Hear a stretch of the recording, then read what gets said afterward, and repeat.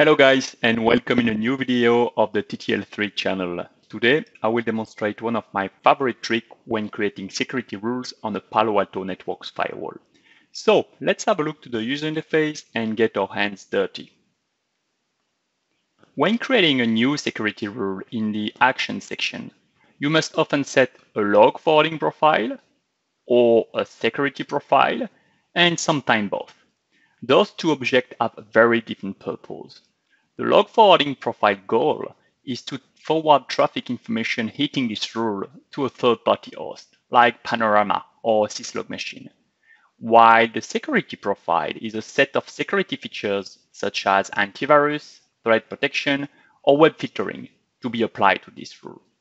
So to make a long story short, it is quite cumbersome to add those two settings every single time you create a new rule. Fortunately, there is an easy way to make this process automatic in PanOS. You just have to name those two profiles with default. Yeah, you heard me. Just name those two objects with default and they will automatically be included in every security rule. Wanna see? Let's try it.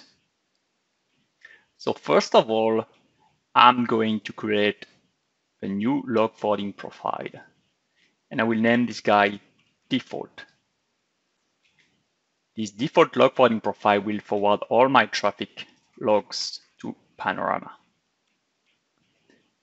Now I'm going to create a security profile group.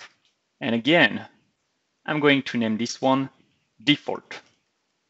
And I will use the default antivirus profile with this one. So now let's get back to the security policies. I'm going to create a brand new rule and as you can see in the action section, automatically my default log forwarding profile and my default security profile are included. So not only this trick makes you save time, but it also produces a more consistent configuration and avoid missing steps when creating security rules. I hope you enjoyed the video and please share and subscribe if you liked it.